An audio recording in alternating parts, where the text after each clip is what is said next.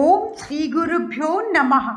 ఈరోజు ముప్పై ఎనిమిదవ నామము దానికి సంబంధించిన తేటగీతి పద్యము భావము మనం చూద్దాం. నామం ఓం ధర్మ నిలయాయై నమ.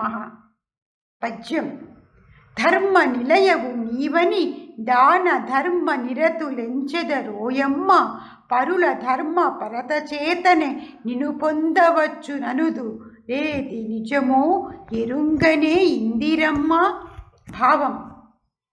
దాన ధర్మ పరులైన వారు ఈ ప్రపంచంలో లక్ష్మిని ధర్మ నిలయ అను నామముతో ధ్యానించెదరు కొందరు అధర్మాచరణముతోనే లక్ష్మిని అనగా ధన సంపదను పొందవచ్చును అన్నారు.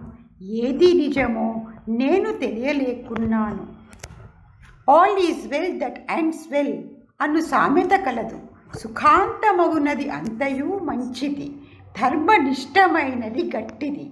లక్ష్మి ధర్మ నిలయ కాబట్టి అన్యాయార్జితమైనది. మొదట బాగున్నను చివరకు నశించిపోవునదే. శ్లోకం. అన్యాయేనార్జితం విత్తం దశవర్షాణి తిష్టతి ప్రాప్తేదేకాదశే వర్షే సమూలతు సమూలంతు వినశ్యతి అన్యాయముతో సంపాదించిన సొత్తు పది సంవత్సరాలుంటుంది. పదకొండవ ఏట మూలముతో సహా నష్టమైపోతుంది.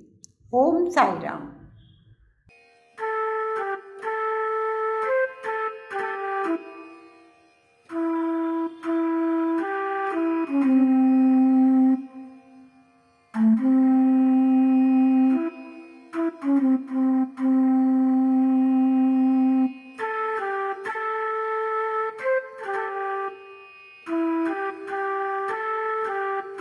Mm-hmm.